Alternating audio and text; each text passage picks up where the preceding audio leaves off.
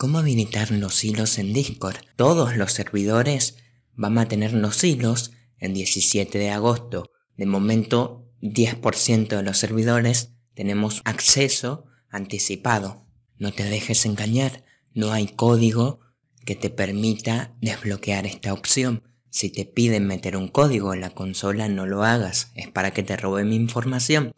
¿Qué necesito para crear nuevos hilos?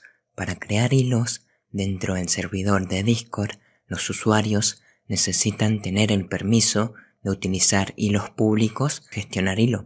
Esto permite que el usuario pueda modificar o editar el hilo. Podemos crear hilos a partir de un mensaje. Le damos clic derecho al mensaje, luego presionamos la opción que dice crear hilo. Establecemos el nombre y el tiempo de archivado. Este tiempo, por lo general para un servidor básico sin mejoras, es de 24 horas. Este tiempo también puede aumentar si tenemos niveles de mejora, claramente. Le damos donde dice crear hilo y ya estaría. Para crear hilos con comandos de barra diagonal, primero colocamos la barra, colocamos el nombre del comando que sería hilos en inglés y luego colocamos el nombre del hilo más el mensaje. El mensaje puede ser el que ustedes quieran, será el primer mensaje que los usuarios van a visualizar, van a mirar.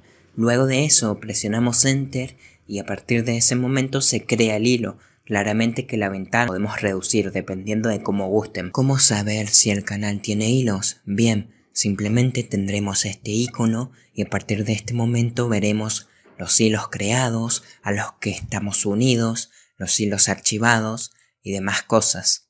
¿Cómo abandonar un hilo? En caso de estar unidos a un hilo, presionamos los tres puntos y damos el apartado que dice abandonar hilo. A partir de este momento ya no recibiremos notificaciones y mensajes de dicho hilo, a menos que volvamos a unirnos, que sería presionando el botón que dice unirse o enviando un mensaje. Bien, eso sería todo por el video de hoy. Te invito a dejarme una suscripción, un me gusta, un comentario. Si te surgen dudas, me lo dejas en la caja de comentarios y veo la manera de cómo ayudarte.